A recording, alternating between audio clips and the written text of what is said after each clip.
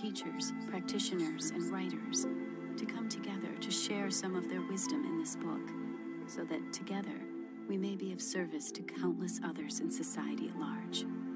All six of us who have contributed to this project have a great deal of personal history and experience with the shaman's path. Hank and I have a dual role. Throughout most of the book, our voices are merged, reflecting the unity as well as the flow of our shared wisdom and friendship across many years. As such, the narrative that forms the fabric of the book will be our collective voice. And yet, we are also contributing members of the group of six, and we teach in our own way. So, in those passages where we share our own unique ways of working, we will use our individual names to present our teachings. Here, I would like to introduce you to Hank Wesselman, and then together in the introduction, we will share the format of the book and how to work with it. Preface from Hank Wesselman. In accepting Sandra Ingerman's gracious invitation to co author this book, I was immediately aware as an anthropologist that an opportunity has been created to explore the dimensions and boundaries of an extraordinary subculture that has taken root in the Western world in our time, a community to which you most likely belong. We could think of it as the transformational community. And since the word transformational has become a buzzword in this time of change, there is something quite mysterious we should mention right at the onset. A new spiritual complex is quietly, yet definitively, taking form within the heart of this community.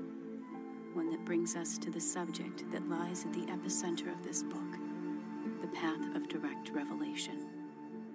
This is the path on which each of us, as individuals, may directly engage with the great mystery of existence, however we may think of it, bringing it into our everyday lives and, by association, into our relationships and our work in the world.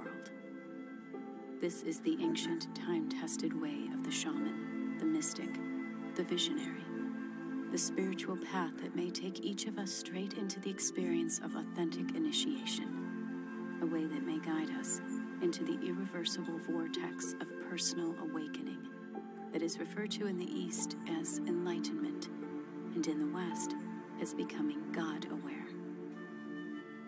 This is the path on which each of us may discover who and what we really are, gaining insights that may be quite in contrast to the scripts that society at large has handed to each of us to act out. In the process, we may discover that these scripts have suddenly become completely and utterly outdated.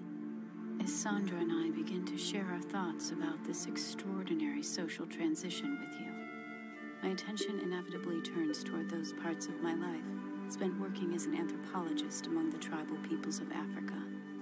For it was there, in the bush, among the indigenous traditionals hundreds of miles from the nearest road, hot bath, or cold beer, that I first stumbled upon this path more than 35 years ago.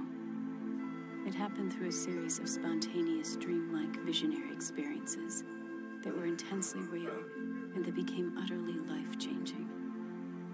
I was 30 years old then, a member of a scientific research expedition exploring the arid, eroded landscapes of eastern Africa's Great Rift Valley in search of answers to the mystery of human origins. In those days, I suspected that my fellow scientists were unlikely to be receptive to talking about these anomalous experiences. So I turned towards some of the African tribal men who were working with me. We had become friends across the years, living in a tented safari camp in remote areas of southwestern Ethiopia, far from the tourist tracks. In my discussions with these men, I slowly discovered that they held a perspective that was quite foreign to my scientists' way of thinking about the world. Right at the core of their worldview lay the perception.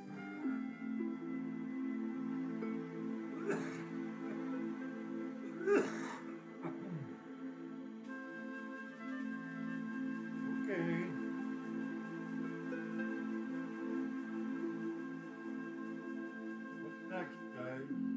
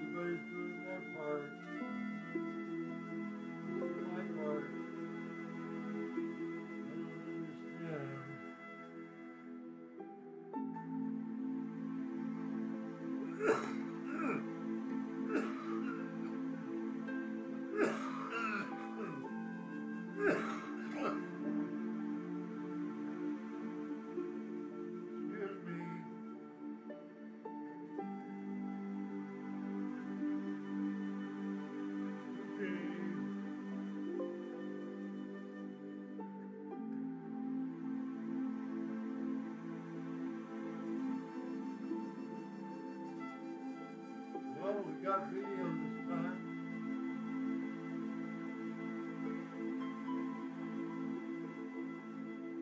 don't know what's different,